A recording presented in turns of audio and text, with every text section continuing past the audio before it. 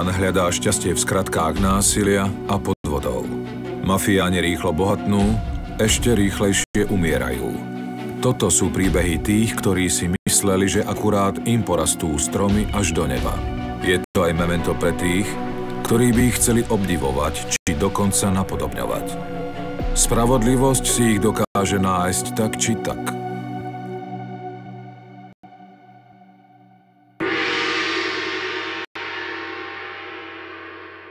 Mikuláš Černák sa cez mŕtvoly svojich sokov stal najväčším mafiánskym bosom Slovenska.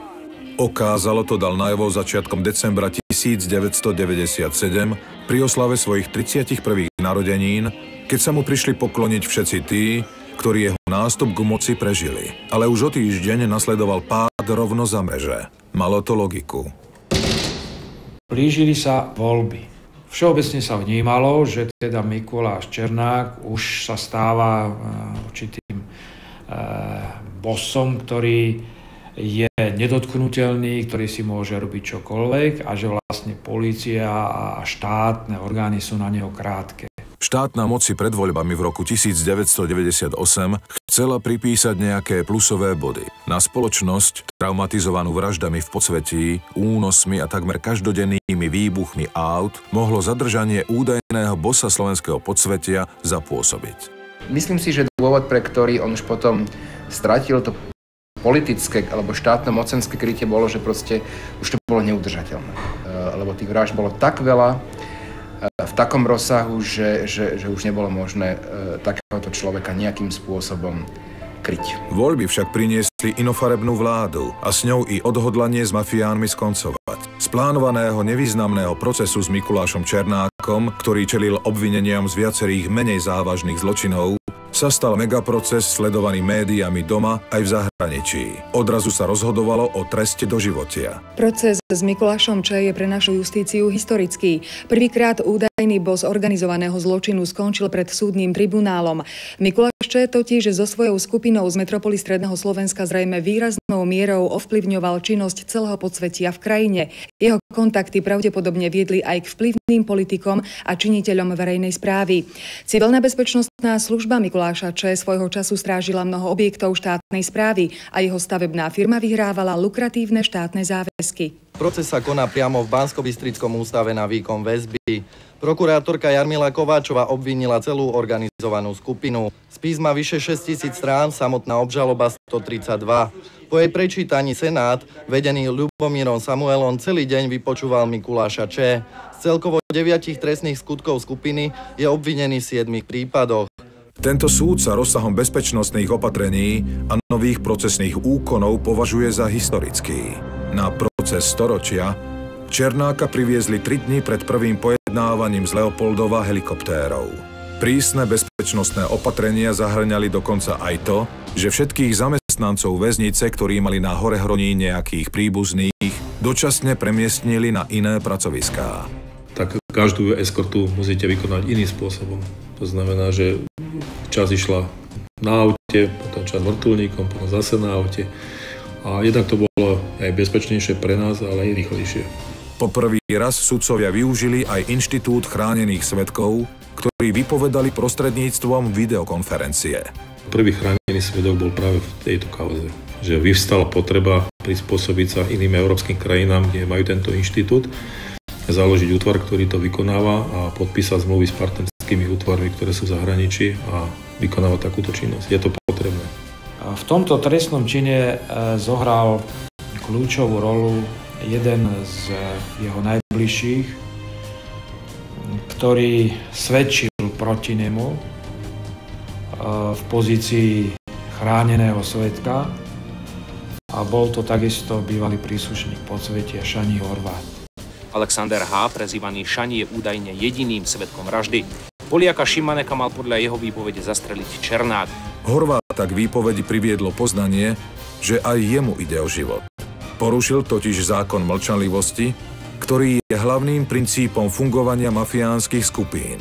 Chránený svedok Šani Horvát viackrát menil svoju výpoveď a keďže bol v režime ochrany, tak nebol nejakým spôsobom v kontakte s verejnosťou. Avšak jediný, ktorý ho navštívil, bol jeho obhájca, jeho advokát z východného Slovenska. Ja neviem, koľko môžem písať teraz. Napravil som ja, že vonku tam je stačilo 10 miliónov. By, by mi stačilo pre nich 10 tisíc mariek, aby mohli odísť. Tak mohlo odísť otec, sestra, deti, zatiaľ. Skoncipovali žiadosť o zmene výpovede na Najvyššom súde, ktorú skutočne odoslali. Bez toho nemajú šancu. Aj Najvyšší Chránený svedok v kauze skupiny Mikuláša Černáka Alexander H. dnes poprvý raz verejne vypovedal v odvolacom konaní Najvyššieho súdu a hneď spôsobil zvrat doterajšieho vývoja procesu. Svedok s prezývkou Šani totiž poprel svoje doterajšie výpovede proti Černákovi a označil ho za nevinného. Dnes však tvrdil, že to bol Štefan Fabián, i keď vo výpovedi sa často sám zamotával. Predchádzajúce krivé výpovede zdôvodnil údajným dlhodobým nátlakom a vyhrážkami. No, on ešte predtým povedal, že chce aby som povedal, že tam bol Černák, že by som svedčil na Černáka, že on zabil toho. Zástupca generálnej prokuratúry už na súde chcel predložiť dôkaz, za akých okolností napísal Šani list o zmene výpovede a čo mu za ňu bolo slúbené. Polícia podozrieva ľudí okolo Mikuláša Černáka, že Šani ho presvedčili k dnešnému počinu. Šani už nechce ochranu polície, bojí sa, že ho zabije. Preto Šani Horvát najskôr poprel svoju výpoveď z vyšetrovania. Keď e, prokurátor predložil túto nahrávku o ponuke Černáka ovplyvniť svetka sumou 10 miliónmi, tak e, zároveň policia obvinila jednak svetka za krivú výpoveď a jednak e, advokáta z Košic, tak chránený svedok opätovne sa vrátil svojej pôvodnej výpovedi. Avšak problém nastal v akceptovateľnosti dôkazu. Súd rozhodol, že podľa vtedy platnej úpravy nie je možné ako dôkaz použiť záznam z rozhovoru medzi klientom a jeho advokátom. Do termínu zákonnej väzby Černákovcov bolo nevyhnutné stihnúť nielen vyniesť rozsudok prvostupňového súdu, ale aj celý odvolací proces na Najvyššom súde Slovenskej republiky. Sudca Samuel boj o vyjasnenie vraždy Šimaneka, za ktorú mohol Černák dostať do životie, v časovej tiesni vzdal. Súd uznal vinných 7 z 9 obžalovaných. Mikuláša Černáka odsudil na 15 rokov odňatia slobody v tretej nápravno-výchovnej skupine. Podľa Senátu nie sú pochybnosti o tom, že došlo k únosu a vražde. Vzhľadom na nedostatky pri odoberaní stôb a dôkazov sa dalo preukázať len miesto, kde sa našla mŕtvola. Súd vyjadril pochybnosti, či nájdené pozostatky pri chate v Polomke patria Poliakovi Šimanekovi. V zdôvodnení rozhodnutia Senát uviedol, že zničenie jediného dôkazu článkov prstov z mŕtvoli pred právoplatne skončenou vecou nemá v našej súdnej praxi obdobu. Tak rozporné dôkazy, ktoré boli vykonané na hlavnom pojednávaní, nesvedčili jednoznačne o takých záveroch, ktoré boli prijaté, pokiaľ ide o vinu. A z toho dôvodu sa domnievam, že posledné slovo zrejme a poslednú bodku za tým určite urobí eh, odvolací súd. V decembri 2000 Najvyšší súd na základe novely trestného poriadku predložil Černákovi a jeho dvom spoluobžalovaným trvanie vyšetrovacej väzby z troch na 5 rokov. Uznal ho vinným z vydierania. Trestný čin brania rukojemníka a vraždy polského občana vrátil späť na Krajský súd v Banskej Bystrici.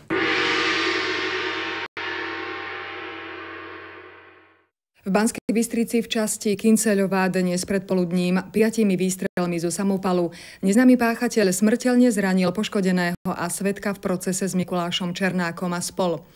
Ide o 30-ročného Mariana Karcela. Ten počas prevozu do nemocnice zraneniam podľahol.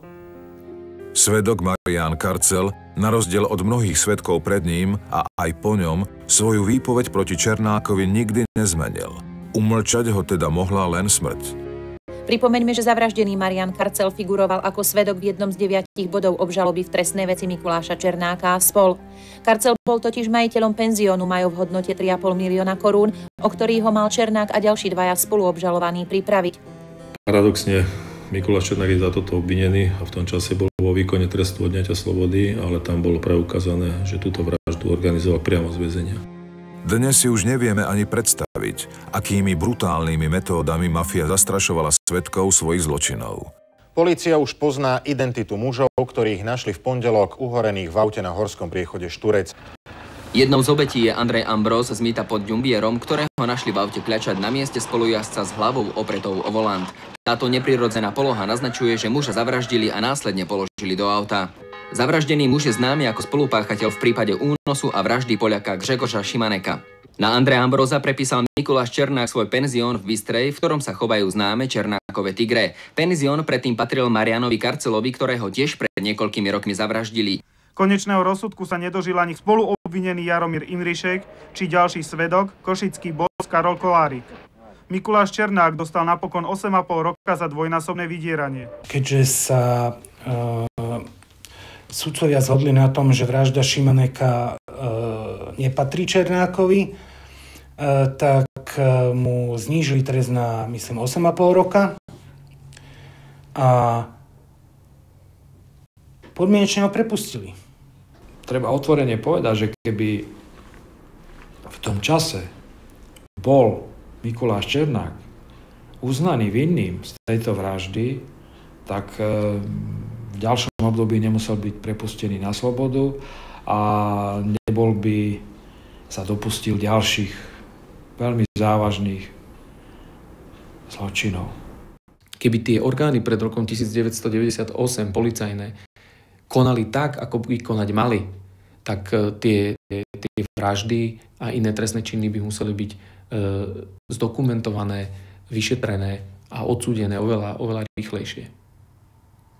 Lebo pri, pri takomto spôsobe akože páchania e, násilnej trestnej činnosti proste za sebou nechávali toľko stôp, že, že, že sa vlastne o nedalo v, te, v tom čase podkýnať, len jednoducho e, nebol asi nejaký záujem na tom, aby sa o to človek, aby sa o to teda proste policajné orgány zaujímali.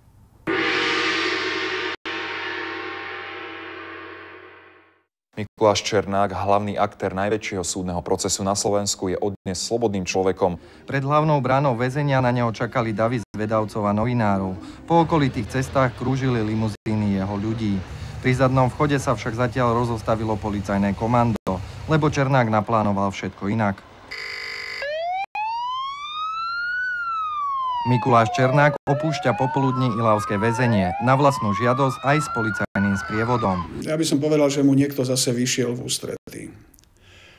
U takého človeka, o ktorom sa vedelo, čo má všetko za nechtami, aj keď v tom čase mu neboli v drvivej väčšine jeho skutky dokázané, nemohol žiadny gramotný a žiadny súdny sudca na Slovensku odôvodniť jeho prepustenie dobrým správaním tom prepustení nastala taká zvláštna situácia, že došlo ku konfliktu dvoch Mikulášov.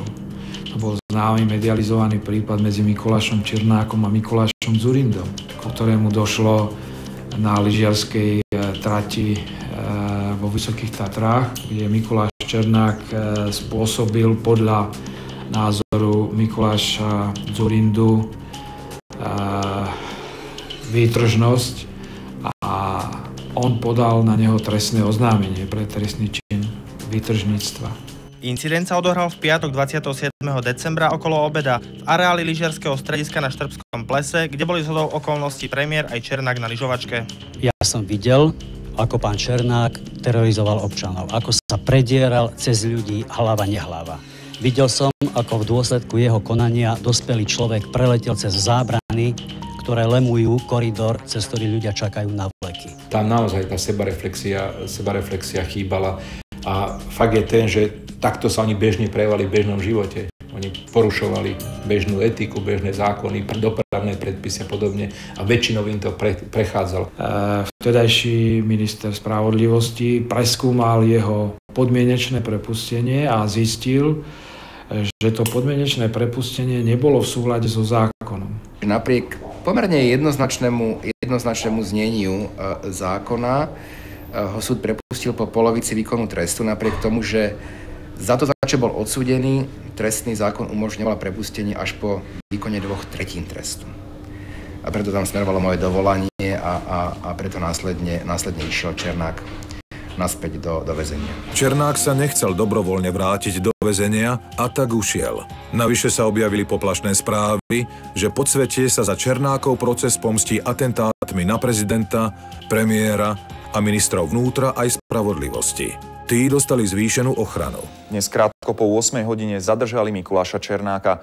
Akciu uskutočnili príslušníci špeciálneho útvaru na boj s organizovaným zločinom pri benzínovom čerpadle na území Praha Východ.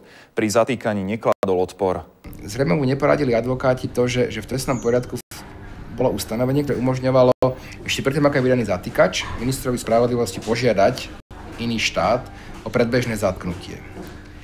A jeden podvečer tiež e, za, za mnou prišiel vtedajší, vtedajší minister vnútra a policajný viceprezident e, s tým, že, že, že urobíme to predbežné zatknutie. Požiadal som o spoluprácu ministra vnútra Českej republiky Krosa, s ktorým som hovoril minulý týždeň a požiadal som o pomoc. A sme to vo veľmi úzkom kruhu, kruhu v ten večer e, napísali. Ja som to podpísal, policia ho zobrala a, a, a v Prahe e, pomerne prekvapeného Černáka zatkli. On si myslel, že ešte má pár dní, že kým nevydaný zatýkač. Čiže v princípe sa až tak neskrýval.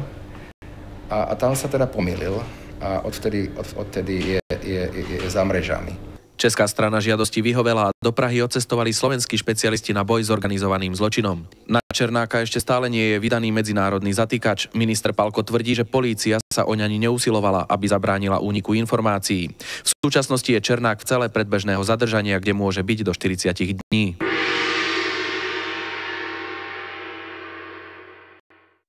Raz nastane tá doba, že tí ľudia začnú hovoriť, lebo v tej chvíli je to pre nich výhodné, aby začali, aby začali hovoriť. A potom sa to zrazu začalo sypať. V 2004 alebo 2005 už potom zase boli nové obvinenia za, za vraždu, jednu, ďalšie. No a Mikuláš Štenár sa už potom z toho väzenia nikdy nevrátil. Špecializovanému týmu, ktorý v roku 2004 vytvoril minister vnútra Vladimír Palko, sa podarilo objasniť sériu vražd, z ktorých bol obžalovaný Mikuláš Černák. Imri Holach e, zmizol, tam nebolo presné miesto hrobu určené, tak sme tam asi 4 dní kopali s mechanizmami a na 4. deň sme našli telo asi v dvojmetrovej hĺbke. Telo je v trestnom konaní dôkaz. E, Šipoš Potáš sa prišli stiažovať na Papaja k Černákovi. Je preukázané, že spáchal to Mikuláš Če a e, tieto tela boli zakopané na Tajove. Stal sa to v kancelárii, kde boli e, títo poškodení zastrelení a môžem povedať, že na mieste činu sme aj po rokoch našli krvné stopy, ktoré sa úspešne podarilo analyzovať a DNA, DNA sa stotožnila, teda zhodovala s e, poškodenými. Jozef Filip bol zavraždený pri Liptovskej tepličke priamo nad hrobom a úvodzovka bol to darček pre istého popradského podnikateľa, ktorý, ktorého tiež zaradili do tejto skupiny. No a tiež tam boli nejaké podozrenia, že je to policajný informátor a de facto bola obava z jeho konania nejakého. U mňa v hoteli sa objavil človek, ktorý dlhodobejšie pobýval v Poprade a ja som bol upozornený samotným Černákom, že ten človek je policajný informátor, aby som si dával na neho pozor. Ja som na to povedal Černákovi, vieš čo, je to dobré, že je tu, aspoň vidí, alebo vidia policajti, že nič nerobím. Tento človek so mnou pachal ekonomickú trestnú činnosť, čo mňa v podstate zaujímalo. Bol som ten typ, ktorý neznašal násilie a nebol som za, ale snažil som sa zarobiť peniaze. Aj keď nelegálnym spôsobom, za čo som bol aj patrične odsudený. Spomínaný pán Filip sedel u mňa v reštaurácii, kde bol televízor a v poludňajších hodinách prebiehala relácia v televízii e, Polícia Pátra a Odišiel som zo zadu k nemu, sedel s klobukom na hlave a točil si na prste granát a pozeral sa na seba v televízii, kde bola jeho fotka. Ja mu hovorím, Jožo, nevadí ti to, že si v televízii? Obraví, nie. Na to som odišiel preč na recepciu a volal som môjho spoločníka, ktorému hovorím, prosím ťa pekne, volaj policajtov a buď taký dobrý, povedz, že na 8. poschodí v reštaurácii sedí človek, ktorý je, ktorý je hľadaný policiou a je po ňu vydané patranie Ten človek aj volal na policiu a ja už ďalej rokmi neviem, aký, ako, ako sa to udialo, len nedošli žiadni policajti a tento príbeh pokračoval. Oslavoval som svoje narodeniny a v deň mojich narodení nabehol Černák aj so svojimi ľuďmi do mojho nočného baru. Došiel za mnou a pýtal sa na, na spomínaného Filipa s tým, že ho potrebuje nájsť. Oni boli asi skupina 5-6 ľudí, išiel som s nimi na chatu. Samozrejme Filip bol na chate, Černák s ním debatoval, hovoril e, nejaký príbeh s ním. Na to všetci sme sadli do aut a odišli sme preč smerom ku lesu. Keď sme išli, tak e, pamätám si, Filip mu hovorí, bol som u veštice a veštila mi, že bude mať dlhý život. Na to Černák hovorí, vieš čo, ona ešte nevedela, že stretneš mňa. Kde kto stal, popíšte. Černák prešiel tu na dozadu za... za e, Černák prešiel tu na, do, postavte, tu na dozadu za Filipa. Tuda. Tak? Áno, áno. Filip zrobil krok dozadu, lebo videl, že je jama vykopaná. Filip urobil krok dozadu, lebo videl, že je jama vykopaná. Ostatní kde stali? No, to neviem presne, viem, že pán Černák stal tu. To neviem presne. A pán Černák priložil pištol pod ucho a strelil. mu priložil pištol pod ucho a strelil. Keď som sa pozrel smerom, kde zaznel výstrel, tak som videl, ako opara alebo para ide z hlavy tomu človeku a videl som, ako ruku dáva dole niekde z oblasti ucha toho človeka. Na to ma otočil, poblahoželal mi k narodeninám. A... Všetko najlepšie k tvojim narodeninám, podzovky a dodal a už je s nami v tom. Jozef Štefan, keď mal dávať pozor na jednu manželku jedného podnikateľa, tak ju znasil. To bol ten pravý dôvod, prečo sa stal tento skutok. Vražda Karcela to, bola, to boli tie podnikateľské aktivity ohľadom, a ohľadom predaja jedného objektu. Lenhard mal spor s miestnymi, a to bol asi Ivan a Karol M., ktorí ho aj vylákali do do Banskej Bystrice, Černakovej firmy. No a tu ho za pomoci ostatných komplicov zvalili na zem a Mikuláš Černák ho zastrelil. Lenhard, keďže asi vedel, že Mikuláš Če obete zakopáva alebo necháva zakopávať, on ho sám požiadal, aby ho nechal vonku. Podľa výpovedí svetkov sa mal samotný Mikuláš Če vyjadriť, že v tom zmysle, že vidíte, to bol chlap, ani neprosil o život. Pravdepodobný motív vraždy Slovenského je to, že hľadal strelca na Mikuláša Če. A to vám poviem príbeh, ktorý sa odohral u mňa v hoteli, kde som bol so Slivenským, s Černakom, dole v bare sme sedeli. Na kaviarni boli ďalší dvaja ľudia. E, až sa nemýlim, jeden z nich bol Melo, toho som videl prvý raz v živote. A keď došiel Slivenský, podišli k nemu, niečo s ním rozprávali a odišli s ním do tých šatní, ktoré sa nachádzali za herňou. A po čase som tam išiel ja a vtedy som videl Slivenského na zemi ležať. E, Černák držal nož v ruke a ďalší, ďalší robili nejaké pohyby mu pri hlave a keď som sa lepšie pozrel, tak rezali mu hlavu. Na to ja vravím Černákovi, čo ty si sa zbláznil, hovorím, si ty idiot, hovorím, vravím, tak čo vy ste tu na urobili? A na to hovorí, Mila, nedalo sa nič iné robiť, hovorí. A ten druhý, tuším, bol z Dunajskej stredy, ten sa očividne na tom zabával. Čemi, položili mu hlavu do umývadla. Na to Černák zahlasil, rýchlo treba doniesť nejaké, nejaký koberec. Viem, že Olach iniciatívny za sebe hal zadným schodiskom, že ide po nejaký behuň schod. Ja hovorím, počúvaj, nebehaj, ty nenos žiadne koberce tu, nahovorím. A nejaké postelné pradlo bývalo u mňa na hoteli, tak ho doniesol, do ktorého zabalili a kde bolo razitko Hotel Gerlach. Na to ho odniesli, kde ho odniesli a zapalili telo s tým, že tá plachta nezhorela celá, ale ostalo s razítkom, ktoré nezhorelo, že je to Gerlachovská plachta z hotelu môjho. Preto všetky indície viedli ku mne s tým, že Roky to trvalo, sme mali rozbité okna na dome a ja neviem, ľudia pluli a roky to trvalo, kým sa objasnila táto kauza, kde som v podstate e, figuroval, aj keď nie priamo. Po tejto vražde bola hlava oddelená od tela a na druhý deň bola vystavená na sídlisku, kde býval na parkovisku na jednom aute pred domom. Ešte dali tam aj policajnú čiapku, aby teda zdôraznili, že boli policajt. Mikuláš Černák bol obvinený zo spáchania šiestich vražd v spolupáchateľstve a siedmu vraždu mal nariadiť. Jedným zo svetkov bol jeho najbližší komplic Miloš Kaštan. Údajný mafiánsky boz Mikuláš Č. sa prekvapujúco priznal k jednej vražde. Stalo sa to počas záverečnej reči na Prešovskom súde. Ide o smrť údajného policajného informátora Jozefa Filipa. Mikuláš Č. čeli obžalobe ešte z piatich iných vražd a organizovania ďalšej. V týchto vinu poprel. Kutku Filip som sa priznal. V plnom rozsahu berem zodpovednosť za tento skutok a hambím sa za ňo. Priznanie obžalovaného je len určitá forma vyjadrenia jeho stanoviska k trestnému stíhaniu v rámci záverečnej reči. Treba však zdôrazniť, že nie je priznanie ako priznanie. Černák zdôraznil, že z vražd ho usvedčujú tiež mafiáni a poukáže vinu na vražde Filipa nesú rovnako aj oni, no nie sú za to trestne stíhaní. Oni v tom lese neboli na, na huby. Oni v tom lese išli s úmyslom zavražiť človeka so mnou. My sme sa predtým dohodli. Dohodli sme sa na podmienkach, išli vykopať hrob.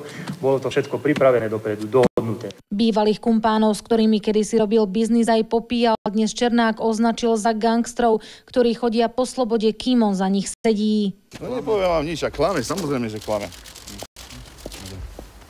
Hlavným motivom celej jeho záverečnej reči bolo to, že poukazoval na svojich komplicov, ktorí uh, svedčia proti nemu, preto aby si sami zaobstarali beztrestnosť.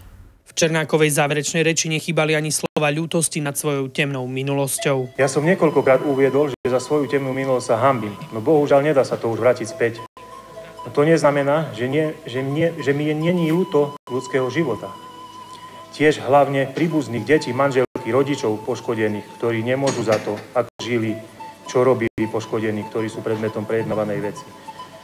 Ja som sa nenarodil takisto mafiánom, zločincom. Vyrastal som v slušnej rodine. Z oči voči hrozbe doživotného rozsudku siahajú Černákovi obhajcovia po každej slámke. A to je znalecký posudok, či je doživotný rozsudok nevyhnutný. Ako má šancu nás, e, psychológov sa týka skôr otázka ako posúdenia tej, tej prognozy resocializácie. Pri tých prvých posudkoch sme to hodnotili ako negatívnu prognozu, ale nepochybne, ak táto otázka príde znovu do úvahy, tak bude znovu znalecky posudzovaný a ten znalecký posudok snaď prispieje aj k riešeniu tejto otázky.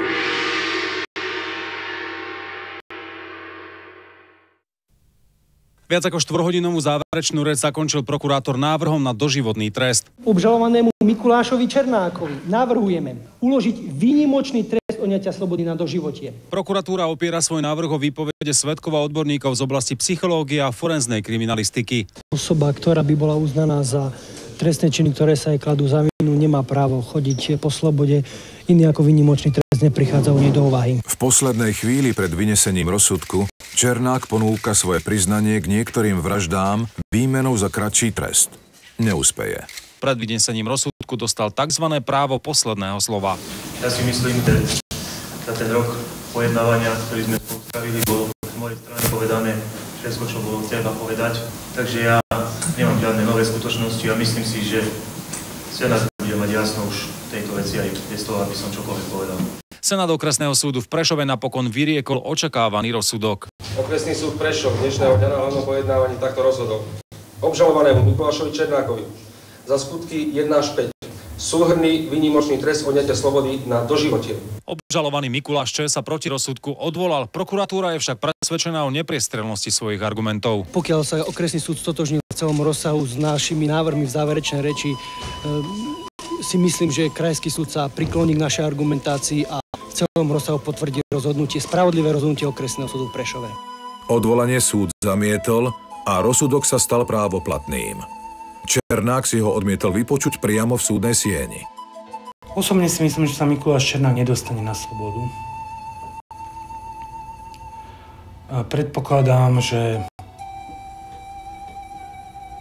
je ešte toľko neobjasnených vražd z toho obdobia, keď Mikuláš Černák bol na slobode. Ja neviem, že ich spáchal on, ale toľko neobjasnených vražd, že predpokladám, že uh, policia ešte, ešte, ešte pracuje na ďalších veciach.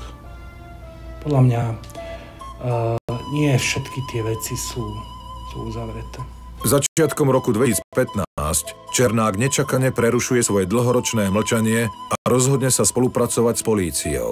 Priznáva sa k vražde košického mafiánskeho bossa Roberta Holuba a vyhlasuje, že pomôže polícii objasniť ďalších 32 mafiánskych vražd. On, ktorý si zakladal svoju reputáciu na tom, že nikdy nekolaboroval s policiou, že nikdy nebol konfidentom, že nikdy, nikdy sa nezaplietol proste či už so Slovenskou informačnou službou alebo, alebo s policiou, tak ako sa zaplietol napríklad Kaštan. Hej. Tak teraz začal Mikuláš Černák vo vezení proste rozprávať a hovorí, že je ochotný vypovedať o ďalších skutočnostiach, pretože pochopil, že vlastne tá jeho tá jeho priamočiarosť a taká tá jeho zásadovosť a tá mafiánska čest, ktorú mal, že v podstate sa obratila proti nemu, pretože všetci sa zachraňujú tým, že rozprávajú a snažia sa tie výnimočné tresty proste e, nejako zredukovať, tak zrejme pochopil, že e, keď má možnosť podmienečného prepustenia po 25 rokoch, tak nejak inak si to podmienečné prepustenie ne, ne, nezabezpečí, iba tak, že bude rozprávať. Pokiaľ sa nezmenia politické podmienky, pokiaľ sem sa nevráti vláda typu Vladimíra Mečiara a podobných politických gangstrov, ako im ja hovorím, tak e, tam zostane. Boli by sme asi utopickí a boli by sme veľmi vyvávaví sa domnievať, že už organizovaný zločin u nás nebude a že e, všetky tie skupiny podsvetia skončili. Tu sa otvára teraz obrovský priestor pre tzv. kybernetickú kriminalitu, počítačovú kriminalitu, kde by som povedal možnosti zbohatnutia alebo možnosti presadenia vplyvu vo verejnom živote, možnosti nadobudnutia majetku sú oveľa rýchlejšie a efektívnejšie, ako tomu bolo formou napríklad reketingu, vydierania v 90. rokoch minulého storočia. Samozrejme, štát so svojimi štátnymi orgánmi musí urobiť všetko preto, aby sa aj na tieto nové formy organizovanej kriminality pripravil a aby ich dokázal účinne eliminovať. Život Mikuláša Černáka na svobode skončil vo veku 31 rokov. Za mrežami, prevažne na samotke, môže nakoniec stráviť viac rokov, než tých na slobode. Symbolicky sa tak uzatvára jedna krvavá kapitola organizovaného zločinu na Slovensku.